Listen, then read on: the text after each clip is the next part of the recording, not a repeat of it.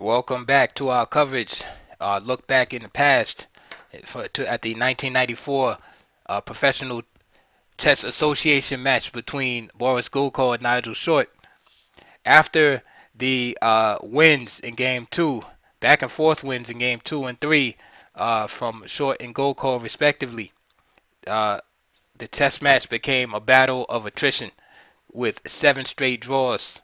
Here in Game 4, with Gulko with the white pieces, Short with the black pieces, uh, against the English, which uh, Short had uh, lost to in the brutal one-move blunder after playing c4 e5, decides to play a, a Yaroslav uh, open uh, defense, which is uh, c6 against the English, and after e4,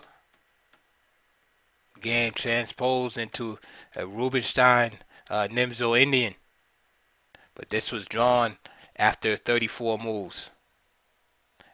Back to the Caro-Kann in game five. Again, uh, Gulko did not deviate uh, from his opening even uh, after his loss. He just merely uh, improved. He played the same line and went right back uh, into it again. Is knight h3, which was a novelty uh, in game three. But this time, uh, uh, Boris Gulko was ready. They didn't take any unnecessary risk. And again was able to uh, draw in 49 uh, moves. Gulko with the white pieces. Game 6. Again, same variation from uh, Nigel Short as black. This transposed into a Slav uh, exchange variation. That's what's fantastic about the English. Is many transpositional uh, possibilities and uh, favors the uh, experienced player. So here, um, uh, the first time in game uh, four, Gulko had opted for e4 here. And again, the game wound up becoming a Nimzo Indian. Here, after c6, Gulko plays d4 this time, and then Nigel just went for the Slav. Super solid Gulko. Displayed the exchange variation and this game was drawn very quickly. Game 7. Back to the Caro-Kann. And we see Nigel putting, putting forth great effort uh, to win. But this is a hard nut to crack. Again, same exact line. Was not able to crack Gulko's uh, defenses. Another short draw from Gulko. This time he didn't play the exchange.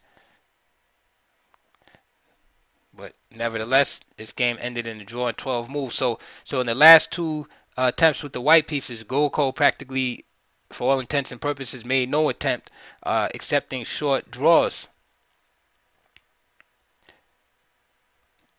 And I'm thinking that perhaps he was getting tired because his black games were marathons. And this is the strategy uh, sometimes younger players you use against older players. They just try to tire them out. This is game nine. Again, Caro-Kann. And now Nigel finally frustrated with the, uh, I'm not going to say frustrated. I don't want to put uh, intentions on him. But obviously he had been beating his head against the wall against this. Uh, let's go back here. He had been beating his head against the wall with this variation that Gulko had been uh, playing. You know, over and over and over again, and not able to uh, achieve any, uh, you know, any progress. He finally switches back to the advanced variation. Okay, and Gulko's again, like you know, very well prepared, and um, hard for a battle ensued. And this game was also drawn after 66 moves. So it seemed like Short is pushing, pushing. The game's been going 50, 60 moves. Gulko keeps drawing, drawing. But then with the white pieces, it seems that Gulko has no energy to press with white when it's his turn. Because he's fighting so hard to stay alive with the white, with the uh, black pieces. This brings us to game 10. Gulko uh, did not accept the short draw here. He actually tried to win this game. in this variation of the Slav with uh, a6. But again, this game petered out to a draw also.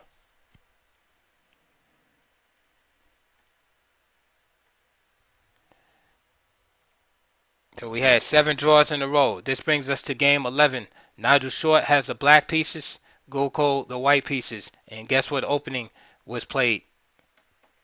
You guessed it, the Caro-Kann. Remember, this is a 12 game match. So the stakes are, are very tense at this point. They had seven draws in a row. It's tied up. And there's only two games left. Short has the white pieces, and he's going for it.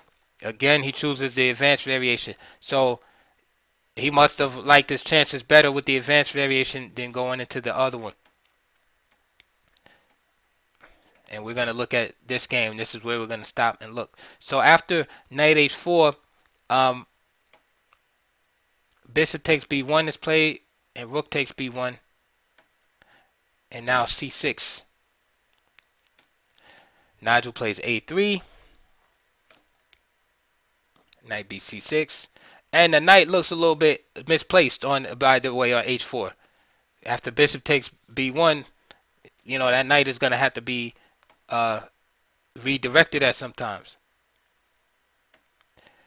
This is why I really don't like this move, knight g6, because I think you should wait as long as possible so that Nigel has to make some type of decision what he's going to do with that uh, with that knight. But the knight is covering two of the squares that black kind of wants to go to. So, I mean, do you really want to go like there just to um, uncover something on the knight? Perhaps not. You know, but maybe wait one more move, perhaps. Maybe play c takes d4 or something like that.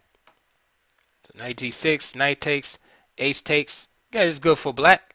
H file is open, so the rook is just automatically developed. Bishop e3. C takes, C takes. Bishop e7, g3, queen d7. And now b4 is the expansion on the uh, queen side. f5, e takes, g takes.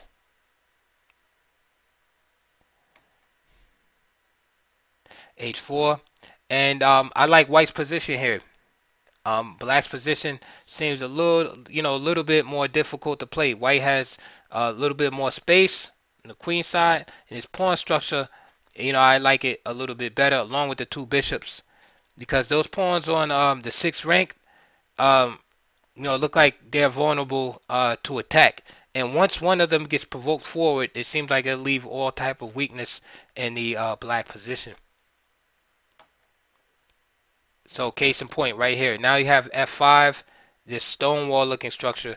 The dark squares immediately become exposed. So now if white trades off the dark square bishops, because uh, let's mention that white's dark square bishop on e3 is in fact his bad bishop. If he gets rid of that bishop, um, then he will be relieving him um, relieving himself of a bad piece, and then uh, the dark squares, Gulko's dark squares will be exposed because then you just smack that queen on the dark squares. And then um, I think black will have real trouble. So I think that's one of the one of the, the plans going forward for white is to try to exchange those bishops somehow. Dark square bishops, that is. Queen d2, bishop f6. So what does Gulko do? He puts the pressure on d4. So it makes it harder, to, you know, for playing a move. For, you know, it makes it harder for white to play a move like Bishop G5, for instance, trading off the pieces. King F1, Queen G7. Some more pressure, but Nigel. Oh, sorry about that. Bishop B5. So exploiting the fact that the king is, um, you know, hasn't committed anywhere. So now the knight is pinned by the bishop. This takes the pressure off d4. g5. Rook to c1. Rook c8. Rook g1. G takes. G takes. Queen f7. And now you see the strategy? Voila. bishop g5. So he did all that to, to alleviate the pressure with bishop, you know, bishop b5. All of it was the plan to trade off the dark square bishops. Alleviate the pressure on d4 first. This kept white. This kept Nigel from doing what he wanted to do. All that pressure on d4. a6. You already know what's gonna happen. Once I told you the plan, you already know he's he's gonna trade the light square bishop for the knight. Rook takes, and give black some pawn weakness to boot. This is this, my friends, is what Nimzovich was talking about. A strong master must content himself with the accumulations of small advantages. Okay, this is how you play chess. Okay, it's not trying to get checkmate every move or, or fork, forking the king and queen every move or a skewer or something like that. It's the accumulation. This is how masters play. You don't see games decided between masters just, um, oh, he hung his queen. You know, that's why it's a big deal in the chess world. When you see a GM make a one move blunder and lose, that makes, you know, ChessBase news, you know, immediately. Like, oh, such and such hung, you know, hung a queen or, you know, uh, lost on time because it's so rare that it's, it's, it's a big surprise. This is usually how it's done. It's the accumulation of small advantages. In order for you to get better at chess, you must understand what the advantages are that you're trying to accumulate. Here's one of them right here. You have look at all the backward pawns. Okay, look at the colors. Under look at the pawns the colors are on. I look at this position and in my eyes, white is winning already. This is to me this is close to winning already for white because I see the weakness on the dark squares. I see the backward pawns. I see the outposts on e5, c5, and a5. Okay, that that alone that's too much advantage. Now what is white now what does black had to compensate for those advantages I just mentioned? Nothing. Black has no kind of attack, anything. Um the king safety is probably equal. Like, you know, both kings are kind of wandering a little bit. But only um thing black has really is this pressure on d4. But I don't feel that it's enough. And there's some pressure on um on h4 from the rook. But I think black's white's advantages are are, are is overwhelming. You know these weak pawns, the the uh, A pawn, the C pawn, E pawn. It's too much. Queen F4 now. Right? What is Queen F4 doing? It's challenge. It's it's threatening to penetrate via the dark squares. Remember I was telling you how weak the squares are. So basically, I guess what I'm trying to get into your heads out there is that, and if you know this already, forgive me, but for the people that's learning, what I'm trying to get into your heads is that you base your plans on the features of the position. You can't do any more than that. This is basically, um, you know, culmination of Steinitz's theory, right? You gotta you gotta play where the weaknesses are. So if the weaknesses are on the dark squares, you gotta uh, you gotta start when you start formulating your plan. It has to be having something to deal with the dark squares. So you look, hmm, the dark squares are weak, and I'm of course I'm just using one factor in the game because normally in chess there's a whole bunch of factors. It could be like weak squares, uh, backward pawns, isolated pawns, and not only does your opponent have weaknesses, but you have your own weaknesses, and you're so you're putting all of these together and making a plan. You know, and you have to determine tactics and all this stuff. This is what makes chess fascinating. But let's look at it just from the simple point of view. Dark squares are weak. He has dark square bishop. Then you say, hey, if I eliminate dark square bishops, I can and put my queen on the dark squares, right? Because that's the only piece that we have left that can really exploit uh, those squares. You know, a long distance piece. Then you say, hmm, I'll have I'll have a better position. All his pawns are on light squares. So therefore, the plan eliminate dark squares. Excuse me, eliminate the dark square bishop. As simple as that. King d7. so he stops he stops the queen from penetrating. Right? Uh, via uh, b8. Guess what the next move is? Eliminated dark square bishop. queen takes f6. Now, okay, white has to deal with the issue of d4 and h4. How do you deal with that? Okay. There's, there's two ways really you could deal with it. One is play rook g5, which is playing the game. The other is play h5 because you can you can say, you know what, I'm not messing with this pawn. I'm gonna just give it up. Now you say give it up. Yes, give it up because the compensation. Now, I'm sorry, not rook rook g8, queen b8. You get access to the back rank. So again, that's another thing with pawns. Anytime you're giving up pawns, compensation. There got to be some kind of compensation, or you just down material. But basically, this is winning right here. So not gonna get into it, but this is winning for uh, for white. So those are two ways. Anyway, Nigel played a practical move. He just blocked the action of the queen by playing rook g5. Queen h6. So he's threatening threatening to uh, win the pawn again. But now Nigel plays queen g3. So basically, he's using tactics to protect the uh, his asset on h5 because rook g7 is threatened. Rook e8, right? Uh, of course, to meet rook g7 with rook e7. King e2, improve the king position. Queen f6, trying to distract with d4. And now he uses his king to protect the uh, d4 pawn. Now here's a good move from um Gulko. Right, he plays f4 so that the light squares can be opened up for his queen to penetrate. Remember, both kings are a little, their position a little drafty. Rook h8, and now h5. Rook f8, h6, and now it's pretty much over at this point after even like rook g7.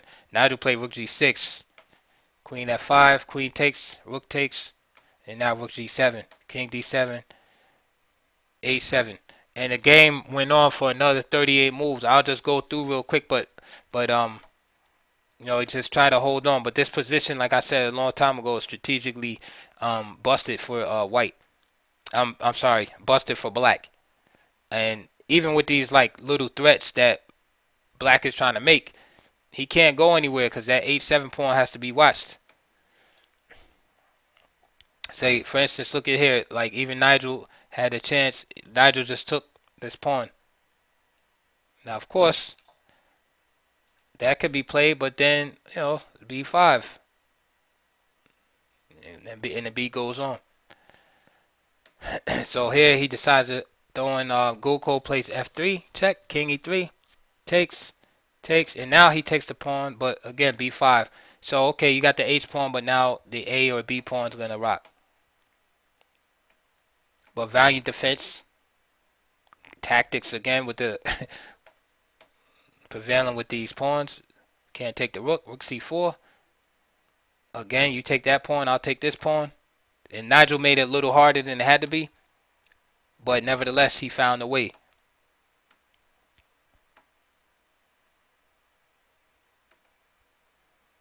Again, why not just rook takes f3? That way, when the check comes, you got both pawns guarded. Like, for, not that he would do that, but I'm just saying, a pawn and f pawn is guarded. Well, who knows? It could be time scramble or what, what have you. So king takes f3, and notice the difference. Now he could just he could pick up the uh, a pawn.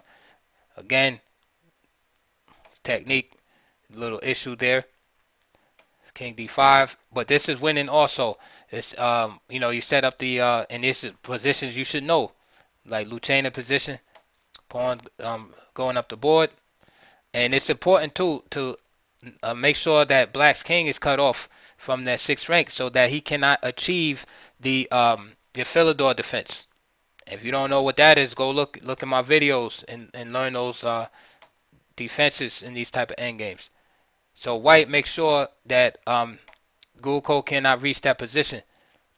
he keeps him keeps the king stuck on the fifth rank.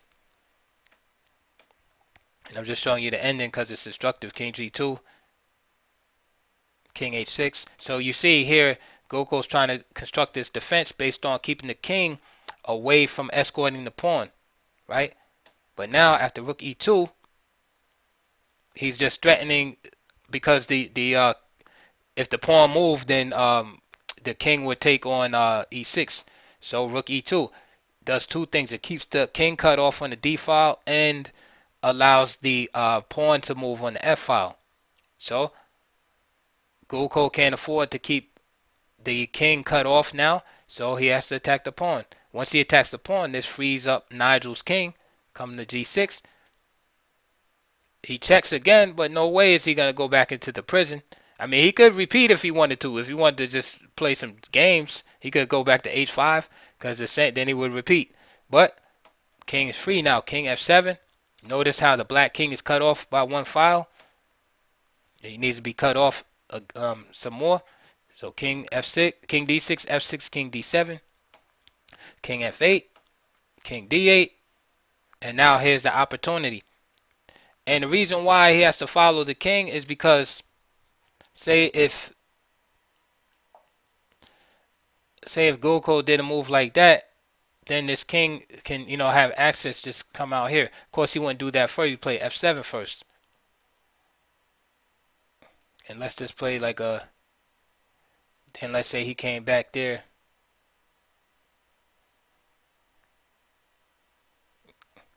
Not that move. Let's um trying to just do something stupid here. Um at king d5, then the king would be able to slip out. Okay, and promote. So that's the whole idea. So Gulko shadowing the king so that the king cannot slip out. Because the rook has the g file, so there's no way short can bring his king out here to promote the pawn. And the black king is guarding on the e file. So how to get this pawn advance. Well, you have to check the king out of the way. So first he advances. And now, this as far as Gulko can go, right? Or he'll be off the board, right? So king d8. So now, rook d2. This pawn having control of e7 forces the king to have to go back. And so there's that cutoff. And now f7. King c8. Of course, he could have resigned already, but he doesn't. He wants to make sure Nigel knows the position, so this is called building a bridge. He brings the rook back to the um, fifth rank. King c7. Now the king can come out. Okay, so there's checks. King f6, and now um, Gulko decides to um, to uh, resign here. The idea is basically after uh, rook f1 check, then just simply rook f5. This guy's going to queen, and the king is too far away to step in and stop it. And this rook is attacked. So for example, rook takes, king takes, boom, and then of course queen. And then that's that's it. So Gulko resigned. So that, for all intents and purposes, um, game 11 uh, ended uh, the match there. But there was one more game, game 12, and um, Gulko came out with his English again. And this time, Nigel Short switched it up for the first time and played uh, something different. Not for the first time, but he, he switched it up again. He was playing uh, C6 in response to C4. He tried e5 and then he switched to c6 and then in this last game he played e6 and what he did was bring it into a solid Queen's Gambit decline. He's already in the um, in the league and he only needs a draw to win. So he plays Queen's Gambit decline. Gulko plays exchange variation. This is a variation Short has been playing for years. Queen f3 and allows this double pawns. But the heavy pieces come off the board. And he just got to make sure he plays correct. This is like a little deficiency in the pawn structure. But Nigel has the bishop here in um you know in compensation for the damaged pawn structure. So again, always look for compensation when you have you just don't take on defects with no compensation.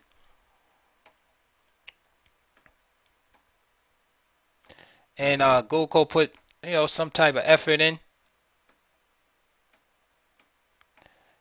Nigel trades everything, and now basically um, Nigel doesn't really have any compensation for his pawn structure, but his pawn structure is not really that critical. Um, it's really the only weakness in the position, so he's not in danger of of losing. You know, he has just enough count. He has enough counterplay to whereby uh, White can't really um, wage any serious threats. With this move, he straightens out his pawns. Now he has he even has more space in the position. And if he wanted to, he could Nigel could actually press this position. Right here, he's in deep trouble. Uh, Gulko with the uh, white pieces. So after King F2, Nigel actually played H6 here, and uh, the game was agreed drawn. But like I said, Black stands better in this position.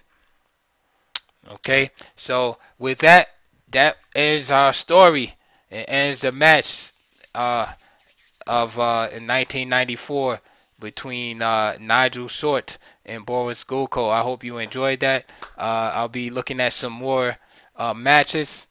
Uh, and if you have any suggestions or anything you want to see, just let me know, and we'll you know we'll try to accommodate. All right. So please like and subscribe, donate if you if you can. You have some spare change, and um, you know I'll see you on the next one. We're gonna keep going.